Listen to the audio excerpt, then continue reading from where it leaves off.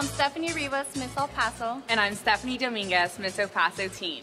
On behalf of Laura's Productions, we would like to invite you to come and watch the most beautiful ladies in El Paso compete for the titles of Miss El Paso, Texas, and Miss El Paso Teen, Texas. The preliminary competition is Friday, June 24th, and the finals competition is Saturday, June 25th at UTEP Magoffin.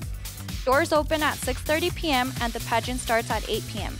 Tickets are now available at the UTEP ticket offices starting at only $17. Who will be next? For more information, visit us at laurasproductions.com or call 915 845 2894. We'll see you there! Woo!